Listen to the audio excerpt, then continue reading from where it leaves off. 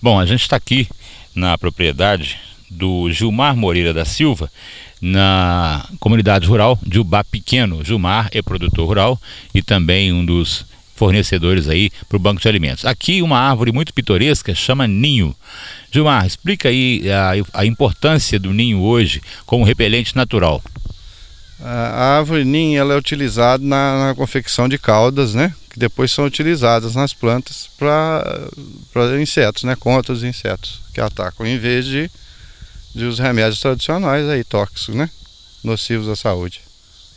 É, você vai estar tá valorizando uma coisa natural, entendeu? Um produto que não tem tóxico. É, ele obviamente vai te dar muito mais mão de obra para ser produzido, mas você está levando ao consumidor uma coisa que não vai ser prejudicial à saúde dele.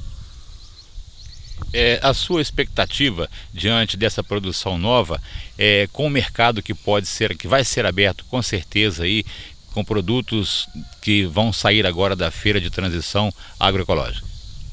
A expectativa é muito boa, que, que vai alavancar as vendas, vai cada dia melhorar mais e através dos primeiros clientes que, que começarem a consumir, vai se propagar, né? vai se fazer a propaganda do, do que o produto é. Né?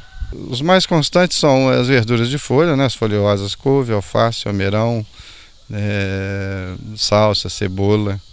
E as frutas de época, né?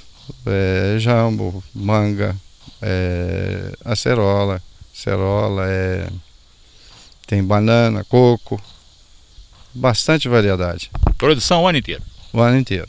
É variado de acordo com o que se produz, né? Tem o abacate e a manga que é uma época, a banana é quase que o ano todo. Eu tenho também a mandioca, que forneço durante todo o ano. E na época da, da, da, das chuvas, normalmente a, a, produção de alimento de folha cai, mas tem outras que entram no seu lugar, como o quiabo, o milho verde, a batata doce e assim por diante. E eu já trabalho duas vezes, né? Na, na, no domingo e na quarta. Vai ser mais trabalhoso, vai te dar mais mão de obra, mas com certeza o resultado vai ser bom. Processo de uso para esterco aqui, como é que você usa hoje? Ah, o esterco para as plantas, eu utilizo a cama de galinha, né, que é, o, é retirada das granjas, é, juntamente com o esterco de broi, que é da própria propriedade. Né? Nós temos o gado e a gente aproveita o esterco dele para uso nas plantas. É, os produtores fizeram um termo de compromisso nessa fase de transição agroecológica, assinaram um termo. O que mais ou menos está previsto nesse termo que foi assinado entre vocês, inclusive com a capacitação do pessoal? É, a responsabilidade de estar de, de tá entregando ao consumidor um produto de qualidade e que seja feito transparente, né? Que seja uma coisa séria, né? Sem omissão de, de, de do que está sendo usado, né? Ser claro, tá bem transparente.